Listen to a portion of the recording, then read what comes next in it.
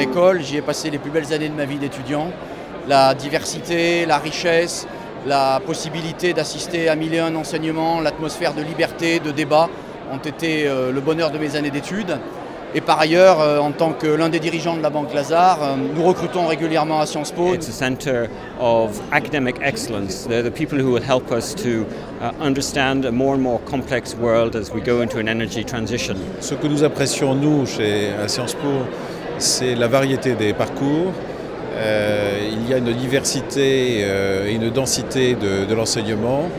Euh, donc ça reste pour nous un recrutement très privilégié. Des gens qui apprennent vite, des gens qui s'adaptent vite, des gens capables de, de, manger des dossiers très rapidement et puis des gens curieux. Curieux intellectuellement, euh, qui réfléchissent bien et vite.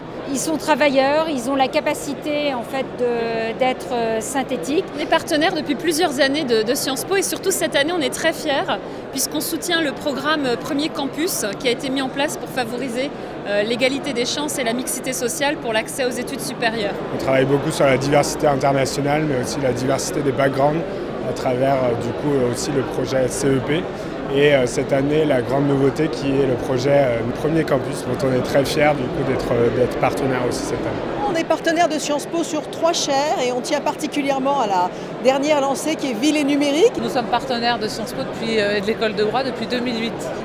On partage les mêmes valeurs d'excellence, d'innovation, d'ouverture sur le monde. Vous savez que l'école a fait cette acquisition fabuleuse de l'artillerie et pouvoir transformer euh, l'artillerie en un des campus nouveaux de l'école suppose euh, des investissements assez importants auxquels euh, on contribuera modestement. Je parle d'un rêve en parlant de l'artillerie, mais le rêve de quoi?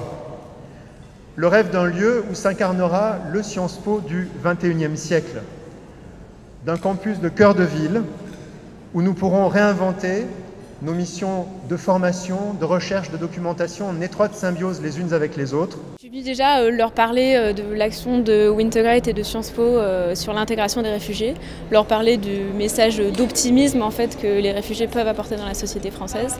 Euh, et puis je suis venue leur, les inciter à participer euh, au projet.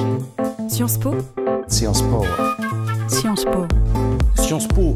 Sciences Po. Science Po. Sciences Po.